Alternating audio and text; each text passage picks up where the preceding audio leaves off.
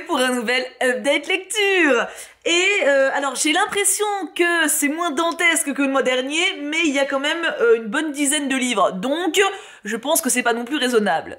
Mais avant de vous parler de toutes mes dernières découvertes littéraires, d'ailleurs, spoil alert, il y en a des très bonnes, il y en a, c'est moins ça, je vous fais un petit aparté pour vous parler de Next Story qui sponsorise cette vidéo. Je vous en ai déjà parlé il y a quelques mois, Next Story c'est une application de lecture avec plus de 250 000 titres dessus. Oui, ça fait beaucoup. C'est une application qui peut fonctionner du coup bah, sur smartphone, sur tablette et également sur PC, il y a un site internet qui permet d'y accéder. D'ailleurs, je vais vous faire quelques petites captures d'écran, ça sera fait sur PC, c'est plus pratique pour moi. J'ai donc fait une OP avec eux il y a quelques mois, ils m'ont proposé de remettre le couvert et j'ai donc accepté puisque bah, je trouve le contenu toujours aussi chouette. C'est une application qui est payante, mais, mais, mais, mais, mais, mais, de base vous avez 15 jours d'essai offert et grâce à mon code, enfin en tout cas au lien qui est dans la description, vous n'avez pas 15 jours mais 45. Donc certes c'est payant mais vous avez largement le temps d'aller découvrir de votre côté l'application en profondeur si ça vous convient ou non avant de décider si vous payez ou non. Et donc, qu'est-ce qu'il y a sur cette appli? Pourquoi est-ce qu'elle me fait autant kiffer? Eh ben, en fait, il y a de tout. Euh, vous avez tous les formats littéraires possibles. Vous avez des livres audio, vous avez euh, des livres euh, e-book, classique. Vous avez d'ailleurs tous les genres littéraires rassemblés. Vous avez de la romance, vous avez du fantastique, vous avez de la fantaisie, vous avez du policier, vous avez des classiques classiques, hein, avec euh, Flaubert, Dumas, tout ça, on kiffe. Léo de Hurlevent d'ailleurs, ça y est aussi. Mais il y a également, et c'est là où je trouve qu'il y a une touche supplémentaire qui moi me plaît beaucoup, euh, des romans graphiques, des BD et des mangas. Alors moi c'est surtout romans graphiques où ça me parle parce qu'ils ont quand même un assez gros catalogue. Et c'est vrai que romans graphiques, mine de rien, euh, bah, quand tu vas les acheter, ça chiffre vite quand même, hein, voilà. Donc là pour le coup, tout avoir sur une même application, enfin tout. On s'entend avoir un large catalogue, je trouve que c'est un gros plus. Et il y a également de la presse, et ça c'est un ajout que je trouve hyper cool aussi. Vous avez des quotidiens, des hebdomadaires, des mensuels, et euh, sur tout plein de domaines différents. Et c'est vrai que typiquement, m'acheter un journal, bon, déjà, alors pour la presse, moi je trouve qu'il faudrait croiser des sources, tu vois, parce que si tu suis que un journal, tu n'as que un point de vue, donc acheter plusieurs journaux tous les jours, clairement, j'ai ni la foi, ni le budget, donc l'appli est bien pratique pour ça. Une fois les 45 jours de période d'essai terminés, si jamais ça vous botte, il y a trois modes d'abonnement différents. Le moins cher étant celui à 9,99 par mois. Et pour ce prix-là, vous avez accès à 15 heures de livres audio et euh, bah, tout le catalogue en fait de tous les e-books disponibles. Le lien est donc dans la description, n'hésitez pas à aller y faire un tour. Je garderai d'ailleurs le lien dans la description. Euh, je le mettrai également sur Tibookin sans doute parce que ça a quand même un lien avec le domaine littéraire. Donc voilà, n'hésitez pas à y aller, téléchargez l'appli, découvrez par vous-même. Il y a même un cotard. c'est un des premiers trucs que j'ai tiqué. Hein. J'ai vu avec Cotard, j'étais ah. Donc voilà. Au cas où, au mieux, eh ben écoutez, vous gagnez un abonnement et un truc qui vous fait plaisir et ça vous fait une nouvelle euh, référence littéraire dans votre routine. Au pire, eh ben vous avez 45 jours de lecture gratuit avec un gros catalogue. C'est pas mal. Cette belle parenthèse Nextory étant fermée, passons maintenant à ce qui nous intéresse, à savoir l'update lecture qui va être assez conséquent et bien entendu, Merlin est là. Oh oui, mon bébé. Oh oui, oui, oui. Il adore être là quand je parle de livres, hein? Alors, on va commencer par les BD. Alors, en termes de catégorie, j'ai 6 euh, BD, 6 BD, une petite dizaine de mangas et beaucoup de romans. Donc, eh ben écoutez, allons-y bravement. Hein pour les 6 BD, il y en a 3 de Glénat et 3 qui viennent de votre part. Alors, de Glénat, j'ai reçu Monsieur Apothéose et euh, je vous avais dit à la réception qui me tentait très fort et que j'allais sans doute le lire très rapidement. Effectivement, je n'ai guère attendu. Euh, C'était super cool, alors assez perché. Du coup, c'est l'histoire euh, de ce jeune garçon qui pense être maudit et que toutes les personnes de sa famille, en gros, finissent par mourir de manière assez pathétique dès qu'ils pensent avoir réussi quelque chose dans leur vie. Du coup, il a décidé de rien entreprendre. ça, ça, ça, se comprend un petit peu. Mais bien entendu, la BD euh, a une morale, a euh, des rencontres. Et alors, je m'attendais à quelque chose de, on va dire, assez doux et philosophique. Il y a ça, mais il y a surtout une grosse partie de loufoque. Et franchement, j'ai bien aimé. Gros big up pour les illustrations. Alors, l'histoire du coup est très sympa, hein, mais je trouve les illus vraiment très belles. Et je suis hyper, euh, hyper fan de la palette de couleurs choisie. Donc voilà, regardez la page de dos, par exemple, enfin le dos, pardon. Voilà, j'aime vraiment beaucoup. Il y a un personnage féminin qui m'a grave surprise aussi. C'est sympa, c'est une bonne lecture. On continue dans le loufoque chelou. J'appelle Plastoc tome 1. Euh, bah, imaginez que euh, nous on n'est plus là, hein, et que du coup les insectes se développent et ils adorent le dieu Plastoc parce que bah il y a du plastoc partout, du plastique partout, hein, suite à notre disparition, parce que ça, ça nous survit. Eh oui, parce que le plastique prend longtemps à disparaître euh, de la surface de la Terre, voilà. Les dessins sont sympas, alors c'est pareil, c'est assez perché, hein. on est sur des insectes bien sûr qui causent, il y a une... Alors, Ce que j'ai bien aimé, déjà il y a l'humour, il y a un humour un peu grinçant, euh, et j'ai bien aimé la fresque de fantasy qui est proposée sur une histoire qui semble au premier abord assez loufoque. Euh, ça nous vend quelque chose d'assez bizarre, assez décalé, et en même temps, la thématique est hyper intéressante. Il y a de gros enjeux pour le personnage principal qui est un puceron, et oui. Et franchement, ça a été une super lecture. Donc ça sera en trois tomes. C'est déjà annoncé. Donc euh, je suis curieuse de savoir comment ils vont aboutir ça en trois tomes parce qu'il y a tellement à dire et à faire. Tant mieux, hein, tant mieux parce que ça veut dire que l'univers est vraiment riche.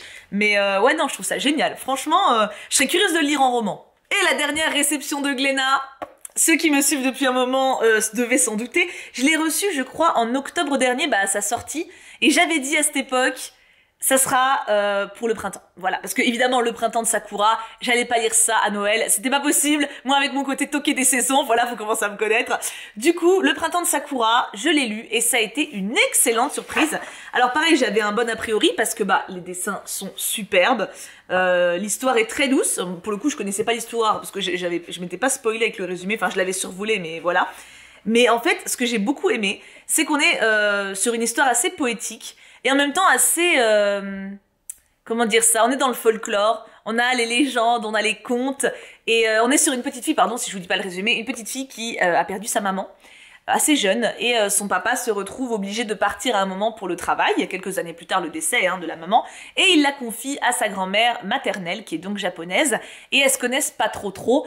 Et euh, bah justement euh, Sakura parce qu'elle s'appelle Sakura va connaître davantage sa grand-mère, elle va beaucoup cuisiner avec elle, du coup on a beaucoup beaucoup de, de recettes, enfin de plats japonais, enfin voilà c'est vraiment hyper hyper joli, hyper doux. Et ça nous fait voyager, ça fait voyager tout en douceur, je trouve qu'il y a une petite vibe souvenir de Marnie pour ceux qui connaissent la référence euh, Ghibli. Donc euh, voilà, très très très bonne surprise. Je pense... Ouais, je pense que c'est mon préféré des trois de Glénat, mais en même temps, les deux autres sont vraiment chouettes. Je dirais que lui, il a le petit côté douceur en plus. Maintenant, voici euh, les BD que vous m'avez offert vous. Alors, c'est des BD que j'ai depuis longtemps, donc je crois que je mettais pas encore les prénoms à l'époque à l'intérieur. Ah, si, peut-être alors j'ai celle-ci du coup que je compte quand même en lecture hein, que j'ai reçue dans un choup artiste euh, que j'ai ouvert sur Twitch il y a deux semaines. Et je l'avais découvert en stream directement en fait. Je l'ai lu en direct avec une petite dédicace à l'intérieur pour Thibou bonne lecture. Voilà comment elle est belle. Et euh, c'est une très très belle histoire du coup écrite par Tori donc qui est euh, la sœur d'une d'entre vous. Et c'est un livre pour enfants. Et je l'ai trouvé hyper beau. Alors les dessins sont superbes mais outre ça, le message euh, sur la solitude, sur le poids qui pèse, euh, sur euh, l'envie de se libérer d'un fardeau, enfin, je le trouve très beau, vraiment. C'est et du coup, attendez, je vous partage son réseau, donc petite dédicace en plus là. Mais voilà, si jamais vous voulez voir un petit peu de votre côté. C'est un très bel ouvrage, fait avec beaucoup de talent. la qualité du papier et de l'impression est vraiment, euh, vraiment qualitative. Et encore une fois, voilà, l'histoire est très poétique, très jolie. J'ai gardé ça à l'intérieur en marque-page. Mais euh, voilà, très belle découverte de mes choux pour du talent. Enfin, les sœurs des choux, mais ça marche quand même. J'ai lu le grimoire d'Elfie. Alors ça, c'était dans ma pile à lire depuis 10 000 ans et ça m'avait été offert par Laurine des mots des livres. Euh, enfin 10 000 ans, non j'exagère, peut-être pas si longtemps que ça. Ça a été une super surprise. J'ai adoré. Il y a une grosse vibe, les carnets de cerises, pour ceux qui connaissent. Et alors les couleurs à l'intérieur, pareil, on est sur quelque chose de très frais, très rafraîchissant, euh, très péchu, vous voyez ce que je Très pétillant, voilà. Alors pourtant l'histoire est pas joyeuse du tout, hein. Euh, on est sur une petite fille qui a perdu ses parents et euh, qui va partir avec ses deux sœurs aînées euh, dans un voyage, euh, on va dire un peu un tour de France. La sœur aînée en fait a acheté un bus et elle fait libraire itinérante et du coup elle voyage de village en village en vendant des livres et, les, trois sœurs sont hyper touchantes. Donc voilà, je suis, il y, a, il y a de la magie, il y a de la magie et vous voyez il y a toute une partie un peu carnet comme ça.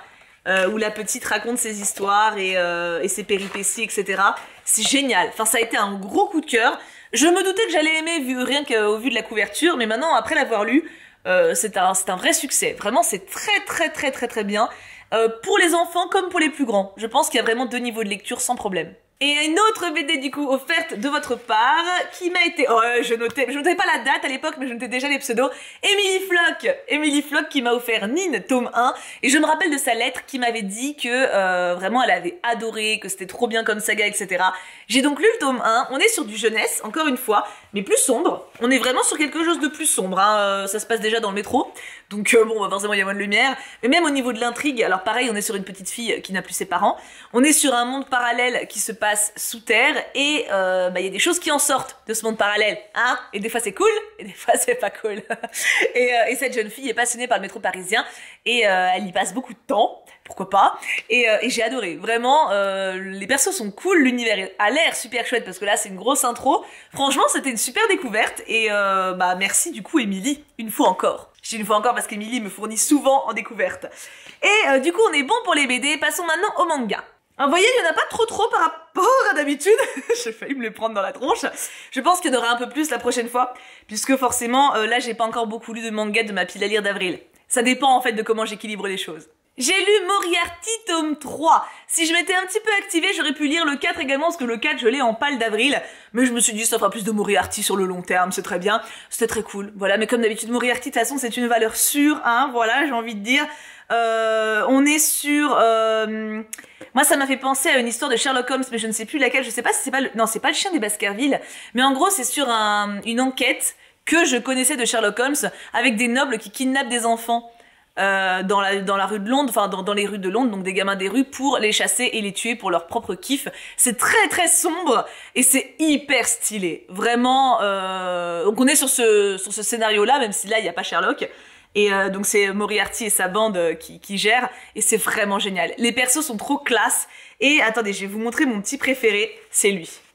Ah, lui, dans... alors ça dépend des tomes, hein. il y en a qui brillent plus à certains moments que d'autres. Lui, là, dans ce tome-là, il a été extraordinaire et euh, j'en suis tombée un petit peu amoureuse, voilà. Enfin, amoureuse.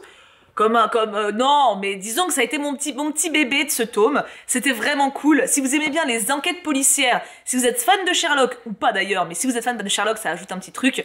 N'hésitez pas sur Moriarty et le côté méchant, euh, gentil. Sais, genre le côté Robin des Bois, c'est méchant mais que avec les connards. Voilà, ça, ça, ça c'est un plaisir. J'ai lu mes trois petits tomes de Machel. Oui, oui, oui, enfin. Attendez, je vais vous sortir le petit coffret. Non, parce que j'ai eu le coffret il y a 10 000 siècles et euh, je l'avais pas lu, c'est quand même couillon. Donc tome 1, tome 2 et tome 3. Et c'est extraordinaire. Oh non, mais euh, je crois que plus le temps passe, plus j'aime le, le, côté euh, un peu couillon dans les mangas. Non, mais c'est parce qu'ils sont de ces gueules. C'est, c'est, attendez, faut que, faut, je... faut que je vous trouve. Regarde en fait, il y a vraiment des moments, j'ai ri aux éclats. C'est, c'est, tu vois, j'ai vraiment une tête de con. Donc niveau humour, ça, m'a beaucoup fait rire du coup. Ah voilà, ça a été, ça a été un succès. Mais outre l'humour, c'est vraiment sympa. En gros, l'histoire, parce que je vous en ai même pas parlé, c'est euh, bah, ce garçon qui doit intégrer une école de magie alors qu'il n'a pas de pouvoir magique, mais qu'il est hyper giga fort. Tu vois, genre vraiment, c'est-à-dire que il fait ça, il pète un mur. Tu vois ce que je veux dire? Il est, il est, non, j'exagère, mais il est vraiment très fort. Et euh, bah, c'est hilarant, voilà, c'est hilarant, mais en même temps, t'as des thématiques hyper intéressantes, euh, des vrais dramas, des vrais enjeux. Et c'est complètement décalé et perché, mais en même temps c'est génial. Enfin moi j'adore, voilà. Donc je veux clairement lire la suite et je me la procurerai, euh, Dieu seul sait quand. Même si je pense qu'il a autre chose à foutre de savoir quand est-ce que j'achèterai la suite de Matchel. Un petit manga de Glénat, Sirius, qui était tout mignon, je m'en doutais un petit peu, c'est pour ça que je me le suis mis, parce que j'avais besoin de vibes un peu douces. En même temps, enfin douce et dramatique. On est sur deux jeunes filles qui sont en vacances, et euh, une de ces deux jeunes filles est un peu traumatisée, puisque euh, elle était championne de tennis, elle s'est blessée, elle ne peut plus faire son sport favori, et en même temps elle a la pression de sa daronne, donc c'est plus tant son sport favori que ça, mais elle fait cette rencontre. Et cette rencontre va lui faire voir les choses autrement. C'est une très belle histoire d'amour ou d'amitié, je ne vous spoil pas, mais c'est intense, c'est beau, et euh, ça pose des bonnes questions. Voilà, c'était une très jolie parenthèse. Oui, c'était rapide pour celui-là, mais en même temps, euh, j'ai pas envie de trop en dire parce que c'est qu'un seul tome, c'est un one shot et ça serait dommage que vous en sachiez trop. J'ai lu Cléopâtre, c'était très sympa. Euh, j'ai déjà lu Marie-Antoinette de cette saga-là et j'ai encore Marie Curie, il me semble, qui m'attend. Euh, c'est très cool. Alors à chaque fois c'est assez euh, résumé, assez concis. Je pense qu'on évite les plus gros clichés, mais il y en a quand même qui sont passés. Donc euh, c'était une bonne lecture. J'ai rien appris pour le coup. Bon, pour Marie-Antoinette non plus, vous allez me dire, certes. Mais Marie-Antoinette, j'ai trouvé quand même peut-être un peu plus exact au niveau des enjeux historiques. Là, bon, c'est peut-être parce que c'est plus loin dans le temps, mais j'ai trouvé que ça colportait quand même pas mal de, euh, clichés par rapport à elle. Euh, qu'on sait pas forcément, tu vois. Donc ça, on va dire que ça, ça flirte plus avec la légende de Cléopâtre qu'avec qui elle était réellement, en tout cas pour le peu de reportages que j'ai vu sur elle. Maintenant, ça restait une très bonne découverte quand même, et une très bonne euh, première amorce si jamais on ne connaît pas encore la madame. C'était chouette. Et après, les cinq derniers, c'est que des cadeaux de votre part et que des trucs chelous. Enfin, chelous. que je connaissais absolument pas et vers lesquels je ne serais pas allée de base, mais qui ont été des bonnes surprises. Voici ma définition de chelou en l'occurrence. De la part de Camillou, j'ai reçu les tomes 1 et 2 de Cat Street. Alors pour être exact, j'ai reçu les tomes 1 à 6. Et d'ailleurs pour avril, j'ai les 3 et 4 qui m'attendent et je pense que je mettrai en mai euh, les 5 et 6. Ah bah quand vous me faites découvrir des sagas, je fais les choses bien. Hein. J'avoue que j'avais un peu peur euh, parce que bah euh, visuellement c'est pas ma cam, c'est clairement vieux comme manga et j'ai souvent des préjugés sur les vieux mangas, on va pas se mentir parce que t'as souvent des clichés qui reviennent à toutes les sauces. Et en fait, et eh bah ça m'a bien plu. Euh, on est du coup sur euh, cette jeune fille qui était une enfant star qui s'est foirée, enfin en gros qui a raté son audition parce qu'elle s'est faite manipuler, etc. et qui du coup est, allée dans tombée dans l'anonymat, enfin en tout cas s'est retirée de la vie publique et elle n'arrive plus à aller à l'école et du coup elle va dans une école euh, un peu je sais pas, de quartier, tu vois, un peu en gros euh, un établissement où tout le monde vient, il fait ce qu'il peut et veut quand il veut et peut. Et, euh, et du coup, euh, elle fait des super rencontres et elle fait un, elle forme un petit groupe avec d'autres gamins qui sont dans sa situation, pas anciens enfants stars, mais des enfants, des ados qui sont un petit peu perdus dans leur vie ou un petit peu déboussolés ou qui ont besoin de se raccrocher à à quelque chose ou à quelqu'un. Et je dois avouer que ça a été une très bonne découverte. Du coup, les 3 et 4 sont pour le mois d'avril. Et euh, je suis intriguée, je suis honnêtement intriguée de voir la suite. J'aime beaucoup le groupe qu'ils forment. Euh, il y a une autre jeune fille qui est avec eux, donc en gros, je crois qu'il y a quatre personnes autour d'elle. Après, quand elle rencontre ces personnes, il y en a un qui est hyper choupi, vraiment trop adorable, et une Miss que j'aime beaucoup beaucoup, qui a une tenue, qui s'habille euh, en lolita un petit peu et qui a un franc parler qui me plaît parce qu'elle est pas dans le trop justement. Enfin voilà, ça a été une très bonne surprise, comme quoi ne pas se fier à la couverture. Enfin, ni aux illustrations, parce que je l'avais feuilleté, ça m'avait pas bâmé non plus. En fait, ça, ça vend un shoujo euh, assez classique. C'est pour ça que je m'étais un petit peu, euh, que j'avais un petit peu appréhendé, mais ça va. Alors, on change d'univers, mais on ne change pas de, de, de, de, de, de non, d'expéditrice. C'est toujours Camillou qui m'a offert Arata, tome 1 et 2, et pour cela, je crois que j'ai encore les 3 et 4 à lire, et je crois d'ailleurs que je les ai mis, oui, je les ai mis pour mon mois d'avril. J'ai été un peu moins emballée, parce que là, pour le coup, on est sur vraiment des vieux codes de fantasy euh, manga. Maintenant, ça reste très sympa quand même, mais bon, on sent que euh, c'est le même type de truc que j'ai déjà pu feuilleter. Euh, on est sur du coup, euh, comment expliquer ça? Il y a deux mondes parallèles. Un monde fantasy avec des épées et des seigneurs et ça, et notre monde réel. Et en fait, dans le monde réel, il y a ce garçon qui se fait harceler et qui a vraiment pas de chance au niveau de son école parce que c'est un bon gars vraiment et bah où qu'il aille quoi qu'il fasse, il a toujours les mêmes emmerdes avec les des, des pauvres bolos là. Et il y a, euh, est-ce que je vais trouver lui? Je pense que c'est lui, parce que du coup, comme ils sont en noir et blanc dans le manga et c'est pareil, ils font des tronches chelous à des moments, ça m'a beaucoup fait rire. Euh, et du coup, lui qui est un, un jeune garçon bah, dans le monde de la fantasy, euh, qui se retrouve coincé dans un espèce de... de... comment dire ça? Il voit quelque chose qu'il n'aurait pas dû voir, de très grave, et il est en danger de mort. Et en fait, ces deux jeunes garçons vont se retrouver à permuter leur place et à être dans le monde de l'autre. Voilà, ça c'est vraiment le synopsis en grand euh, du tome 1. Euh, du coup, j'ai lu les deux premiers et euh, j'ai les deux autres qui m'attendent. Comme je vous l'ai dit, c'est sympa. Maintenant, tu sens le truc qui va traîner pendant très longtemps. il faut avoir envie de se lancer là-dedans. Maintenant, honnêtement, les persos sont attachants. Euh, l'intrigue est prenante, les enjeux importants. Ça, franchement, c'est un truc que je, dois rendre à César ce qui est à César. Les, mangas d'avant que j'ai feuilletés, ils mettent ils ont pas peur de faire, de, faire mourir des gens. Euh, tu sais, c'est dense quand même, tu vois. Du coup, ça me plaît bien. Je pense pas que ça deviendra un coup de cœur, genre c'est pas Yona, tu vois. Mais euh, c'était bien sympa quand même. Et enfin, alors ça j'ai adoré, et j'avoue que je m'y attendais pas vu ce que vous m'en avez dit, j'ai reçu Shugo Kara de votre part. Alors c'était de la part de qui ça? De Léo. Euh, alors c'est pareil quand je vous dis les mangas, j'ai autant quand vous m'offrez des romans que je connais pas du tout, j'ai plus de mal à m'y mettre parce que j'ai une pile à lire extraordinairement longue et que c'est beaucoup plus long de lire un roman qu'un manga. Autant j'avoue que manga, bon, quand vous me faites découvrir des trucs qui m'attirent pas, bon, j'ai pas trop de scrupules à essayer puisque bah, c'est pas très long. Hein. Même si ça, il y en a deux en un là. Hein. Et du coup, Shugokara, quand, quand je l'ai reçu et quand je vous l'ai montré en book haul, vous êtes plein à m'avoir dit, tu vas voir c'est mignon, mais vraiment c'est un truc pour enfants, c'est pas foufou, tu risques de te faire chier quoi. J'ai adoré. Qu'est-ce que tu veux que je te dise C'est mon âme d'enfant. Hein en gros, alors je suppose que moi, alors, à ma décharge, euh, quand j'étais petite, moi je regardais pas ça. Moi j'avais les minicums, je regardais pas Dorothée. Du coup, j'avais pas d'animé japonais dans mes dans mes dans mes goûters, tu vois. Moi j'avais euh, j'avais les minicums, donc j'avais les trucs euh, je sais pas, tout ce que j'avais d'ailleurs. Tout cas, j'ai jamais eu genre Albator, Princesse Sarah, euh, Shugokara, Sailor Moon, tous ces trucs-là, j'ai jamais vu quand j'étais enfant. Et du coup, je connaissais pas, tu vois, ce concept de euh, petite fille élue qui se transforme là. Il y en a plein des trucs comme ça. Euh, Magical Doremi, enfin je crois qu'il y en a plein des trucs comme ça. Moi, je n'ai jamais vu. Et du coup, bah là, euh, bah je kiffe grave. Du coup, c'est une petite fille, enfin une, ouais, une petite fille. Je crois qu'elle est en CM2 et euh, et non, elle rentre au collège. Enfin bref, elle est petite quoi.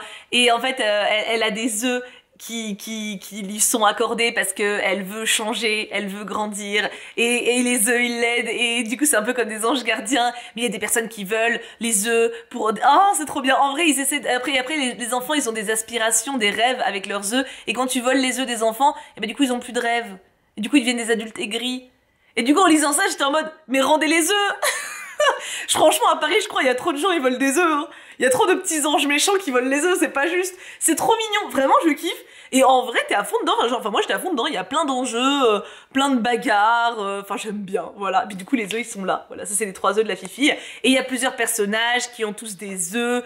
Et, euh, et puis t'as un mec badass, lui là. Évidemment, voilà, qui est mignon. Alors, on m'a dit, parce que j'avais montré en story sa tête, et on m'a dit, oui, tu feras gaffe, il a genre 12-13 ans. Je, jamais de la vie, ça fait 12-13 ans, ça. Hein. Je, non mais non mais après voilà, je, me rends à l'évidence, mais euh, il fait plus vieux le Kokora. Du coup voilà, c'était en tout cas une très bonne lecture, surprenante, à laquelle je ne m'attendais pas, mais euh, bah écoutez, c'était une belle expérience. Par contre, c'était grave long, parce que du coup, je me suis lu en un coup, et il y a l'équivalent de deux tomes en un, et je pense qu'un tome déjà, c'est bien dense. Bah, regardez, c'est énorme. Du coup, euh, j'en ai eu pour un bon moment. J'avoue qu'à la fin, j'étais en mode wow, j'aime bien les œufs, mais à petite dose. Hein. Passons maintenant au roman. Alors, c'est absolument pas dans l'ordre de lecture. Et ça risque de durer un petit moment, voilà. non mais au moins comme ça vous êtes prévenus. Ah. Commençons avec Positive, que j'avais reçu en main propre de Jasmine, que j'avais rencontrée, parce qu'en gros j'avais été invitée euh, au cinéma de Saint-Martin-d'Air, donc c'est une ville pas très loin de Grenoble, et j'avais rencontré euh, Jasmine, j'espère que, parce que j'avais essayé de retenir son prénom, je l'ai noté en rentrant à la maison, j'espère que c'est bien ça, mais tu te reconnaîtras en tout cas si tu vois cette vidéo, merci encore. Et du coup Jasmine me l'avait offert pour, euh, parce qu'elle avait trouvé que c'était hyper intéressant comme lecture. Donc c'est l'histoire de euh, Simone, je crois. Oui, c'est ça. Simone qui est euh, séropositive et euh, qui va au lycée et bah, qui va avoir la menace de voir son secret, du coup le fait qu'elle soit séropositive, bah, s'éventer et se divulguer, et elle panique, et voilà. Donc en gros on suit la vie de Simone. Et mon avis sur ce roman est en demi-teinte, c'est-à-dire que la communication sur euh, la séropositivité, sur tout ce qui est autour de, cette maladie, euh, tout ce qui est euh, niveau communication sur le ressenti, niveau médical également, on apprend plein de choses. De ce côté-là, c'est une très bonne lecture. Par contre, je suis désolée, au niveau de la plume et au niveau euh, des personnages, c'est convenu, attendu et relativement plat. Voilà, non mais je suis franche, hein. C'est-à-dire que voilà, c'est un livre qui est intéressant à lire pour en apprendre plus sur euh, bah, sur la maladie et sur euh, les impacts que ça peut avoir, comment le gérer, comment réagir. Il y a des témoignages qui sont intéressants d'ailleurs euh, de tout au début, je crois. C'est ça. Tout au début, vous avez un mot de Jean-Luc Romero-Michel, délégué général fondateur des élus locaux contre le sida, ambassadeur d'une Île-de-France sans sida et ancien président du CRIPS Île-de-France. Voilà. Donc, vous avez une intro et une conclusion fait par cet homme. Et euh, du coup, voilà, vous avez plein d'informations intéressantes, mais vraiment, euh, Simone est euh, une adolescente, donc vous savez ce que je pense en général des adolescents qui pètent des câbles sans raison, hein, voilà. Donc elle le fait beaucoup. Les personnes qui sont autour d'elle sont relativement clichés, vraiment. Et il y a même un passage qui m'a un petit peu fait tiquer. En mode limite si t'es hétéro t'es pas normal parce que en fait en gros du coup enfin t'es pas normal t'as pas le droit de te plaindre tu vois t'as pas le droit d'être malheureux t'as pas le droit de t'inquiéter enfin euh, parce que du coup, en gros, elle a des amis qui sont. Euh, il me semble qu'il y a une amie qui est. Une amie qui est bi et une autre qui est euh, lesbienne asexuelle, je crois. Et à un moment, il y a un échange qui m'a un petit peu fait tiquer et qui est revenu plusieurs fois, hein, mais un en particulier, où en mode justement être hétéro c'est chiant. Et. Hmm, je suis pas fan de ce genre de propos, tu vois. Je pour moi, chacun a sa place. Alors, je me doute que c'est pas le message et que c'est des ados qui parlent et que donc voilà, euh, c'est dit un peu comme ça, tu vois. Mais euh, je suis pas fan de, cette, glorification de, de forcément ne pas être euh, hétéro. Enfin, on choisit pas de base, tu vois. Et de manière générale, justement, tout ce qu'on choisit pas chez un individu, je trouve que le montrer du doigt dans un sens comme dans l'autre, c'est à chier. Voilà, mais soyons clairs. C'est-à-dire euh, la couleur des cheveux, euh, la corpulence, la taille, la couleur de peau, l'orientation sexuelle, si vous aimez le chocolat ou pas, tu vois, genre tous ces trucs-là, foutre de la gueule de quelqu'un ou, ou critiquer ça, je trouve c'est vain parce que la personne elle n'y peut rien, tu vois. Et je pense que dans tous les cas, faut se foutre la paix. Donc, euh, je, pense qu'on se bat pas autant pour que euh, les droits des personnes LGBT soient représentés pour après nous euh, aller sous de la gueule de l'autre côté, quoi. Enfin, ça m'a voilà c'est pas le propos du livre du tout hein mais euh, au contraire je, pense vraiment que c'est un livre qui est ouvert à la tolérance et qui, qui tend plein de perches d'ailleurs dans ce côté là ce qui est très bien mais il y a voilà il y a des passages qui m'ont quand même mis, mis un peu mal à l'aise parce que bah du coup ça ouvre des messages de tolérance mais pas vers tout le monde tout le monde du coup. Enfin voilà. Bref ça m'a un petit peu gêné euh, dans ma lecture. Et euh, après voilà encore une fois euh, bon on a une romance qui est hyper hyper convenue les rôles parentaux pareil. J'ai pas voilà. J'ai trouvé que c'était très plat en termes de récit.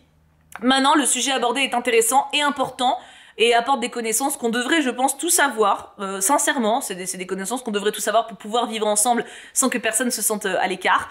Donc euh, c'est un livre qui a des connaissances intéressantes, mais qui les donne de manière, bah, c'est pas très littéraire, si on peut dire. Disons que c'est plus fun de lire ça que de lire une brochure, ça c'est sûr. Maintenant, est-ce que ça en fait un bon livre pour autant? J'irai pas jusque-là. Pour enchaîner dans le même thème, un très bon livre qui parle de sujets sociaux et humains en profondeur et avec talent, Annie au milieu, avec euh, une famille. On suit une famille avec trois enfants. Euh, donc je regarde derrière parce que les noms sont mentionnés. Harold, c'est l'aîné, Velma, c'est la cadette, et Annie est au milieu. Le récit est construit avec trois narrateurs différents qui changent à chaque chapitre, et c'est justement les trois enfants euh, qui alternent une fois à l'autre. Donc d'abord Harold, après Annie, après Velma. Je suis pas sûre que ce soit dans l'ordre de naissance d'ailleurs, mais en gros ça alterne quoi. Annie est au milieu et ce n'est pas sa seule force, c'est également une enfant trisomique. Et euh, j'ai trouvé ce livre hyper, hyper juste, hyper fort et qui traitait toute sa famille de manière égale. Le fait qu'on ait tous les narrateurs, enfin enfants qui soient narrateurs à tour de rôle, nous permet justement d'avoir un portrait familial assez large et de prendre chaque vie, chaque ressenti pour ce qu'il est. Genre tout ne tourne pas autour de Annie. Enfin, dans un sens oui, mais dans l'autre, pas du tout. Dans l'autre, ils ont vraiment chacun leurs propres angoisses, leurs propres problèmes, leur propre caractère. On voit également bien sûr celui des parents, euh, je sais pas si vous vous rappelez du livre Les étincelles invisibles, où pour le coup on avait une petite fille qui était, enfin une jeune, oui, petite jeune fille qui était au collège, il me semble, qui était autiste. Là pour le coup, du coup, ça, enfin, ça m'y a renvoyé de mon côté, mais j'ai préféré encore celui-ci, puisque dans Les étincelles invisibles, ça tournait énormément autour de la petite, et les parents et les sœurs étaient mentionnés, mais beaucoup plus rapidement quand même. Là, toute la famille est traitée. Il y a aussi une grand-mère d'ailleurs que j'ai trouvé hyper dure, mais euh, hyper intéressante aussi, mine de rien, à observer. Et j'ai trouvé que ouais, le portrait familial qui était là était euh, était bon. Alors, j'avais honnêtement, je l'avais dans ma palle depuis un moment. Lui, pour le coup, il m'a été offert par Didi, donc un de mes modos. Et euh, je l'avais dans ma palle depuis un moment et j'osais pas trop y aller parce que je m'attendais à, être un peu triste. Souvent, c'est triste ce genre de livre parce que bah tu, tu lis des, des, témoignages d'exclusion, des, des souffrances euh, personnelles, collectives, etc. Et il y en a un petit peu dedans. Hein. c'est pas pas tout rose. Mais honnêtement, c'est un livre qui m'a donné envie de vivre. C'est une bouffée d'oxygène, ce bouquin. C'est, tu vois, je sais pas comment te dire. Euh, imagine t'es triste. C'est pas juste dire, euh, oh tiens, prends des mouchoirs, vas-y, vas-y, pleure, pleure, ou alors juste pas de patte, tu vois. Là, c'est vraiment genre, ça écoute ta peine, et ça te sourit, ça te fait un câlin, et ça dit, tu sais quoi, on va avancer ensemble c'est cet ami-là pour toi en fait ce livre, tu vois. Et de manière générale, j'ai trouvé que euh, tous les personnages avaient cette espèce de bienveillance. Enfin, en tout cas, ils étaient traités de cette manière-là euh, vis-à-vis de l'auteur. Enfin, tu sens que l'auteur a beaucoup de bienveillance. Enfin, l'autrice, l'autrice a beaucoup de bienveillance pour eux. Mais du coup, en tant que lecteur, ça, ça jaillit sur nous. C'est vraiment un livre qui m'a fait du bien. Je me suis sentie hyper bien en le lisant et en le fermant. En le fermant, vraiment, je me suis dit, waouh, j'ai envie de vivre comme ça j'ai envie de vivre vraiment. Vraiment, c'est ça, c'est ça le truc. J'ai envie de vivre vraiment. Pour moi, pour ceux qui comptent pour moi. Et balèque du reste, tu vois. Vraiment, c'est... Euh, je comprendrais hein, le fait que parce que moi personnellement voilà je vous dis je l'ai traîné en lecture parce que j'avais peur d'être un peu en PLS et d'être triste et en fait euh, non vraiment c'est un livre qui donne de la force et c'est un livre qui donne envie de vivre foncez pour du feel good printanier c'est excellent Parlons de feel good, parlons de choses qui agacent. J'ai reçu Nick et Charlie, ça c'était de la part d'Emily, il me semble. Emily Flock, le 10 février, c'est ça? J'ai vu Oui, c'est ça, 10 février. Alors, on est sur Nick et Charlie, euh, deux ans après qu'ils se soient mis ensemble, alors que euh, Nick va à la fac. Et Charlie, il stresse à l'idée que Nick aille à la fac, et euh, il se met dans une grotte psychologique, et il ne parle pas. C'est le synopsis, hein. Ça m'a un peu rendu ouf, à vous en doutez un petit peu, on m'avait prévenu. Alors, j'avoue que du coup, vu qu'on m'avait prévenu, je m'attendais à pire j'ai quand même levé les yeux au ciel un paquet de fois. Hein. C'était, compliqué comme lecture parce que bah, on est typiquement dans des cas de non-communication, dans des, souffrances intériorisées. En fait, ça m'a beaucoup rappelé euh, des, bah, des personnes que j'ai côtoyées ou que je côtoie encore, qui, Dieu merci, vont bien, mais voilà, ça m'a rappelé des choses que j'ai vécues, on va dire, et qui, étaient difficiles. Vraiment, quand t'as quelqu'un qui s'éloigne de toi, qui veut pas te parler et, qui rompt toute communication et qui va mal, bah tu peux rien faire en fait. Si la personne ne veut pas, elle veut pas, tu vois. Et, et vraiment, j'avoue que le personnage de Charlie, souvent, il, m'est difficile à. Enfin, moi, c'était dans le 3, je crois, que j'avais eu beaucoup de mal. Il, il, est ou dans le 2, je sais plus. Mais en tout cas, il, là, là, c'était pas évident comme lecture. Maintenant, euh, bon, ça m'a pas fait bader parce que c'est très court et il y a quand même des bons côtés à côté. Donc en fait, en vrai, comme je pense, j'étais préparée psychologiquement, ça allait. Maintenant, c'était pas une lecture hyper agréable non plus. Je vais le garder néanmoins parce que euh, je trouve que ça, en fait, c'était pas une lecture agréable parce que le sujet abordé est difficile, mais la résolution est toujours saine. Je sais pas si vous voyez la différence avec quelque chose qui est mal fait. Euh, par exemple, le tome 2 de Heartstopper, je crois que c'était le 2, hein, m'avait mise en PLS, mais c'était très bien traité, c'était très réaliste. Euh, c'est pour ça que je l'apprécie. Donc là, on est pareil. En fait, on est sur une situation qui m'a été difficile à lire, qui m'a affecté, qui m'a énervé, mais euh, c'est bien fait. Vous voyez, c'est pas au dépens des personnages, c'est le scénario qui fait que je me suis énervée et attestée. Du coup, voilà, euh, lecture qui m'a fait grincer des dents. Euh, à force de grincer des dents, je vais venir avec un dentier très jeune, mais ça a été néanmoins une découverte euh, intéressante et qui peut peut-être servir de déclic à certains qui restent un peu trop dans leur grotte. Ouais, mais j'ai lu. Mais en fait, c'est vrai que pour ma pile à lire d'avril, j'avais que du feel good, enfin d'avril de mars, j'avais que du feel good, enfin que des trucs un peu société, dystopie, machin. Du coup, j'ai lu Le Passeur. Alors ça, c'était rapide. Euh, Lois Lowry, euh, par, je crois que c'est la famille de Bébou. Oui, c'est ça, les parents de Bébou euh, qui m'ont offert Le Passeur pour Noël. Ça a été très sympa. Alors on est sur une dystopie.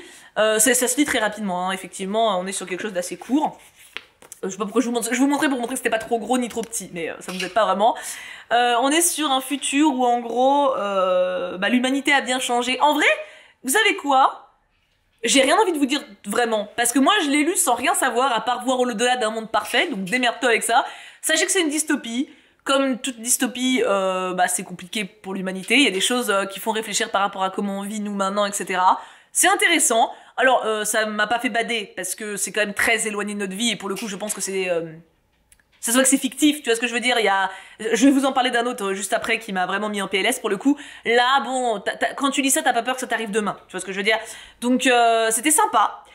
Euh, pas, pas, pas très joyeux, hein, voilà, c'était quand même plutôt badant, mais comme c'est court, t'as pas le temps d'être traumatisé, la plume est jolie, c'est un oui pour ma part. Tiens, allez, on va prendre la dystopie qui m'a mise en PLS à nos héritiers euh, que j'avais acheté en convention. Et regardez, j'ai la petite dédicace à Marilyn. J'espère que tu trouveras un peu d'optimisme, dans cette dystopie.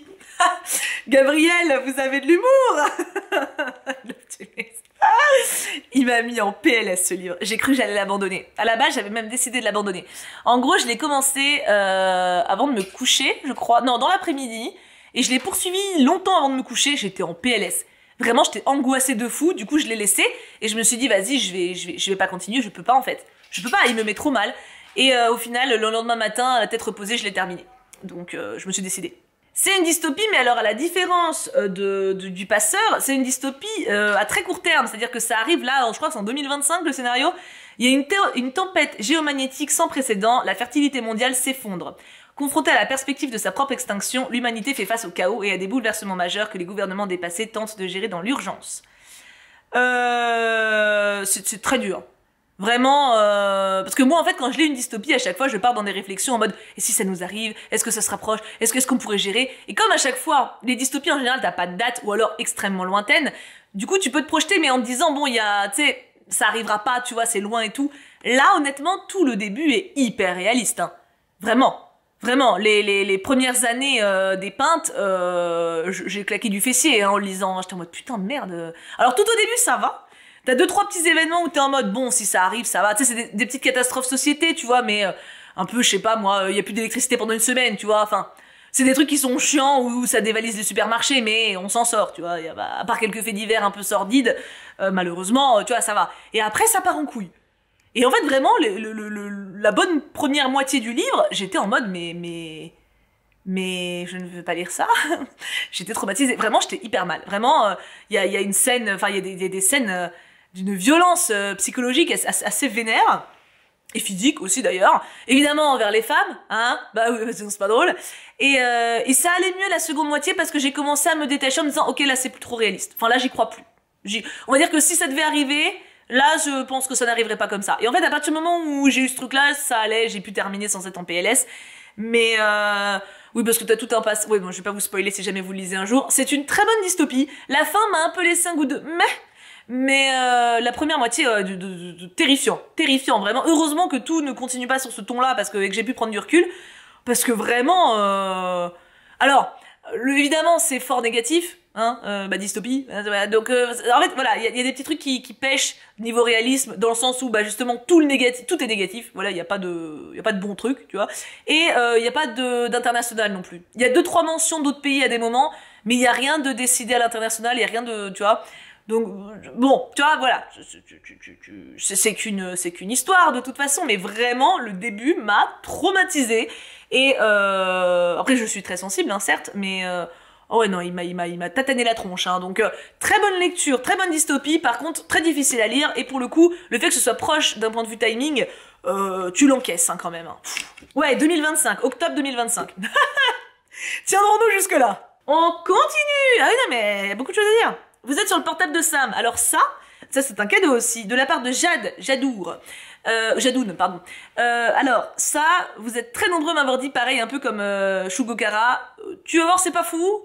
Moi, j'ai rage c'était mal écrit, la fin est nulle. Bah, moi, ça va. en gros, c'est l'histoire euh, de deux amoureux. Le mec, il meurt et la fille, à un moment, elle l'appelle pour entendre sa voix sur le répondeur. Il a un accident, le coco. Et en fait, il décroche. Et du coup, bah, ils peuvent causer après la mort.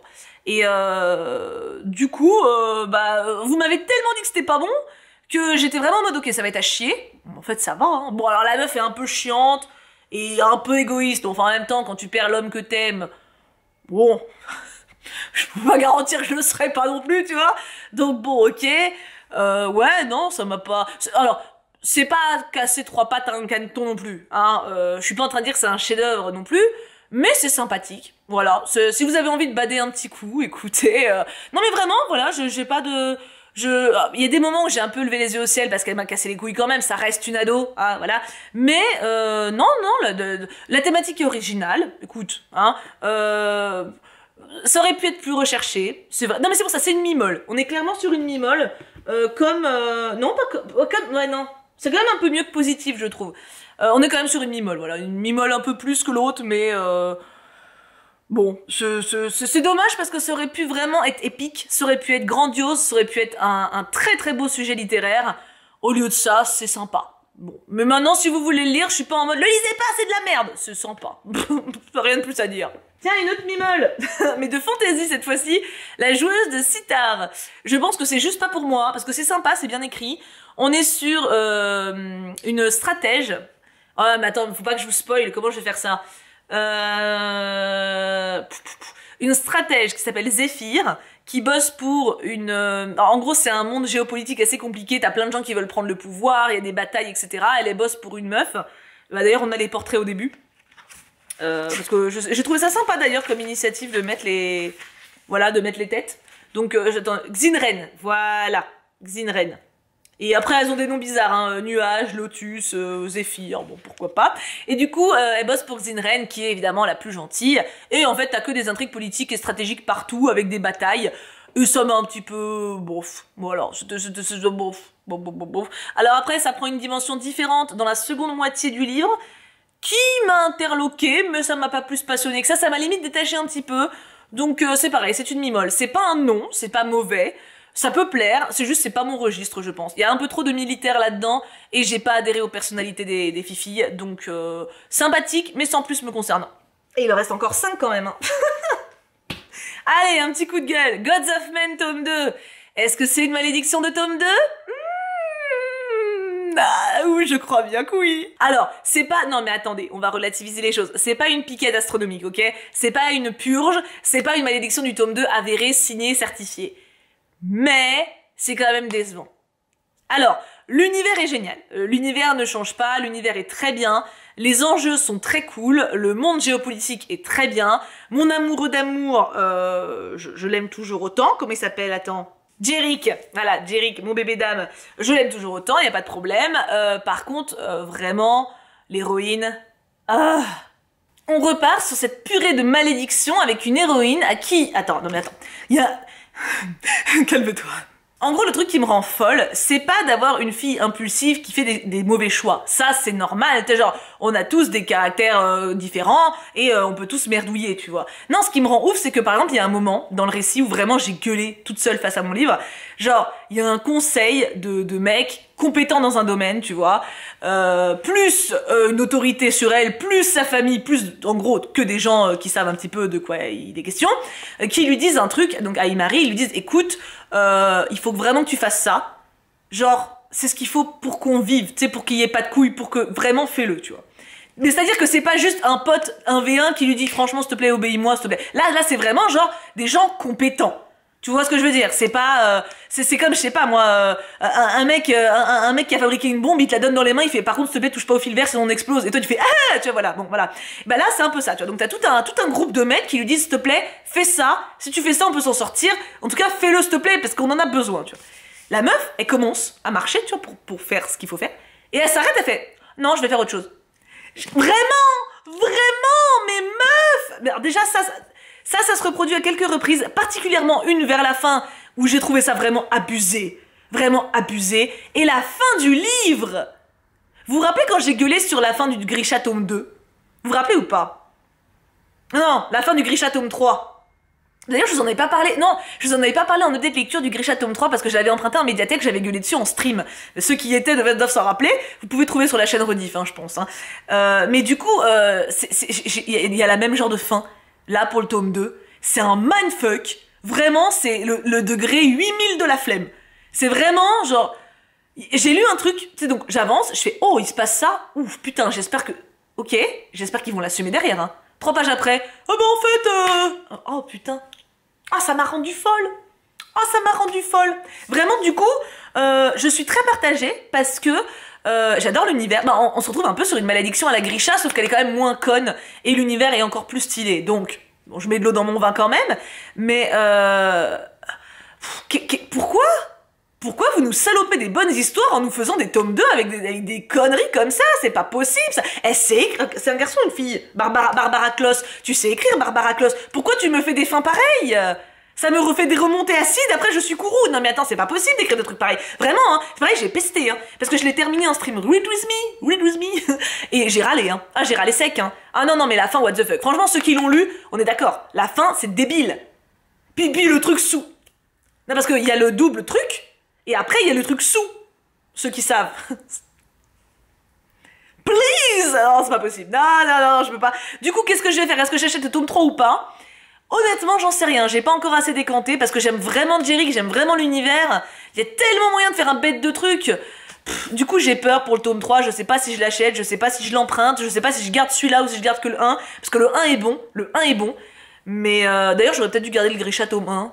Ouais, non, la flemme. Mais du coup, voilà. Donc, euh, Gods of Men tome 2. euh, J'étais enthousiaste au début de ma lecture et vraiment, pour le coup, le dernier tiers, pas compris. Pas compris, ça va trop. C'est trop. C'est puis c'est trop, du coup, c'est n'importe quoi. Du coup, ouais, non, je... C'est une grosse mimole me concernant, mais plutôt en négatif.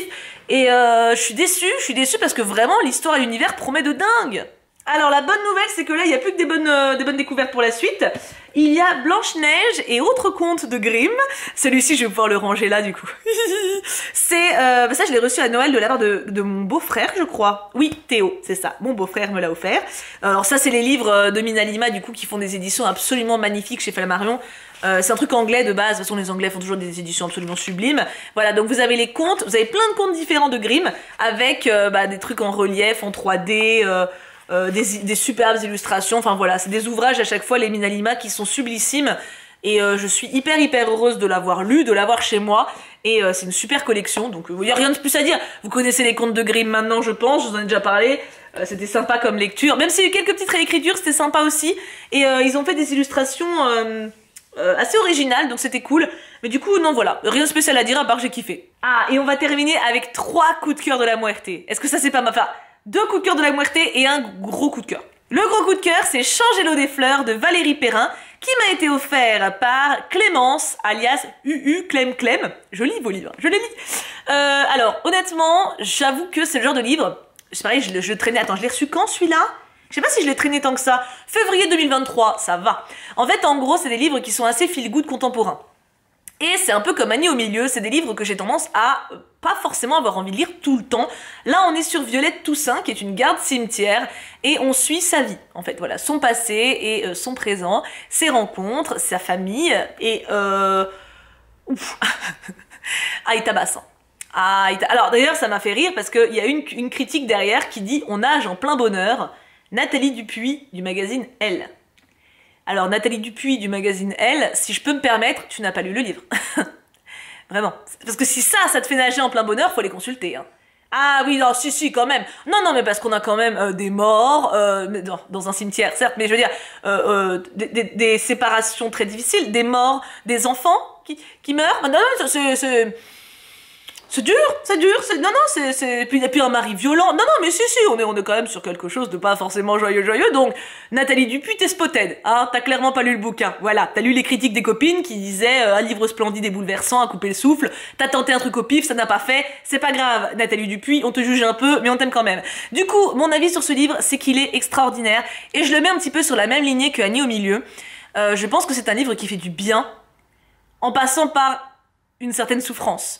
C'est-à-dire que quand tu le lis, tu... Alors moi je l'ai lu euh, d'une traite, hein. vraiment, euh, enfin d'une traite. Je l'ai, dévoré. Il, se lit un peu en apnée, je trouve. C'est un livre que j'ai pas repris mon souffle en lisant. J'avais vraiment ce sentiment-là de de me noyer à l'intérieur, d'être submergé par les émotions et par l'intensité aussi.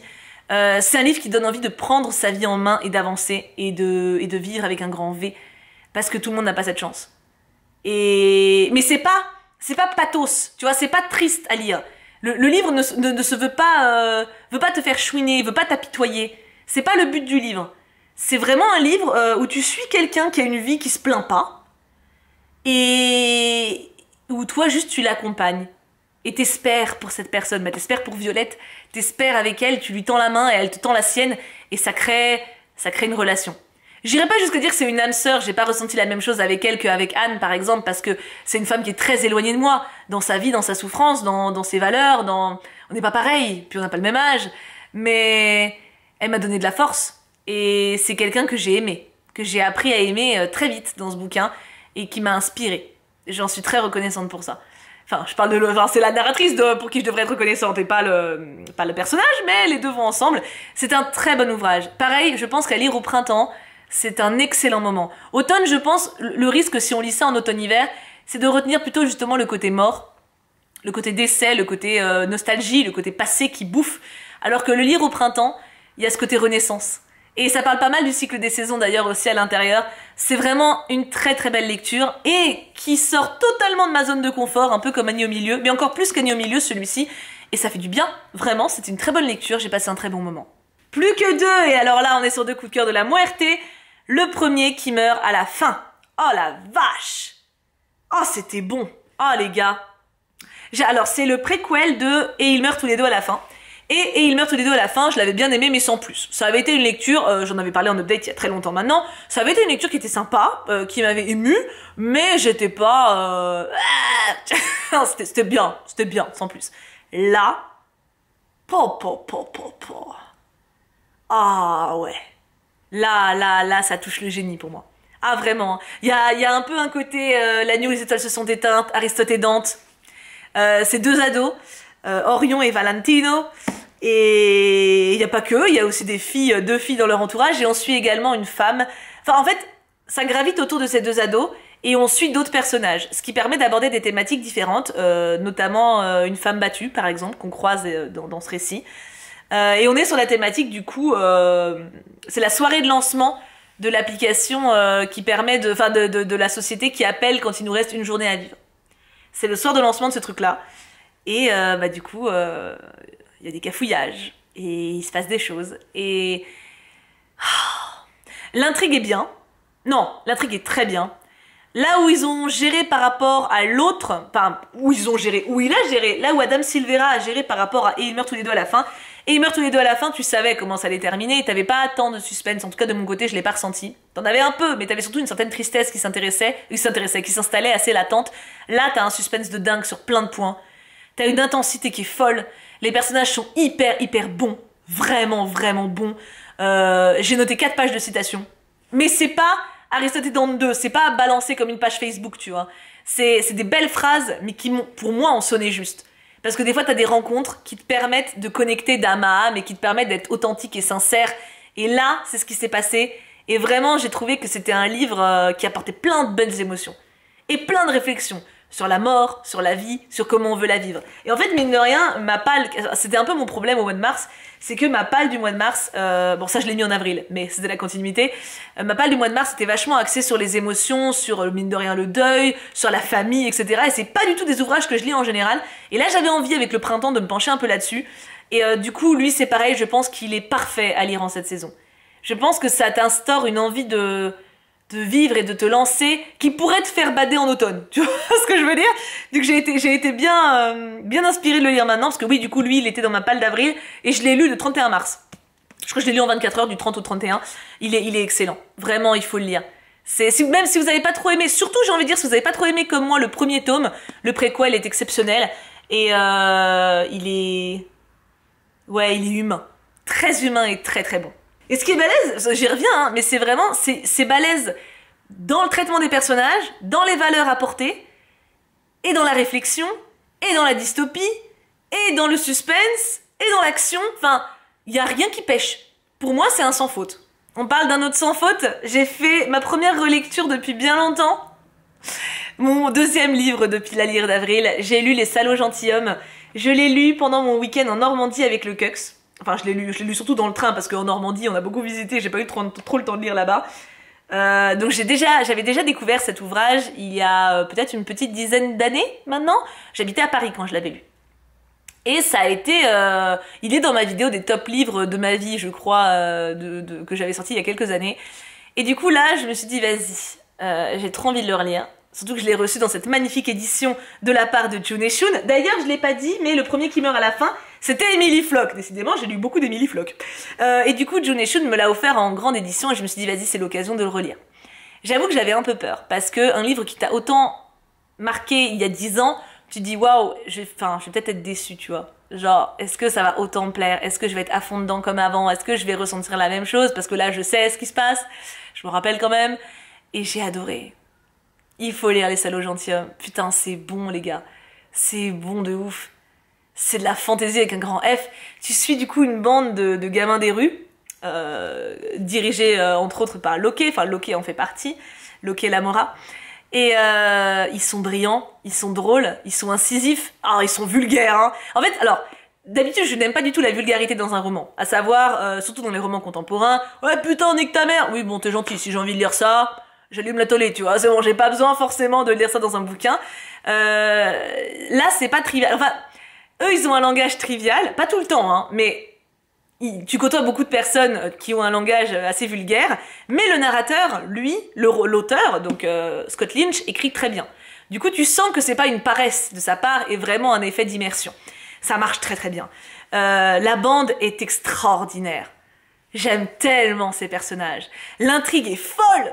Le suspense, en fait, c'est comme si c'était une partie d'échiquier géant avec plusieurs personnes qui jouent, donc pas vraiment des échiquiers, des petits chevaux, mais c'est moins impressionnant. De poker. Poker, c'est bien. Une partie de poker avec des, des, mises énormes en jeu, des vies en jeu, et t'as peur, et t'es à fond dedans. Et c'est tellement badass, c'est tellement stylé, c'est tellement intense, c'est tellement bon. C'est, c'est, ce livre, il m'a tout fait. Bah, alors c'est une relecture, hein, donc je savais, je me rappelais des, des trucs importants qui se passaient. Hein. En lisant vraiment, j'ai eu les larmes aux yeux, j'ai crié, j'ai lâché des insultes, dont une dans le train. Euh, j'ai rigolé parce qu'il se lance des trucs. Euh, c'est c'est un grand livre. C'est vraiment un putain de grand livre et il faut lire Les Salauds Gentilshommes.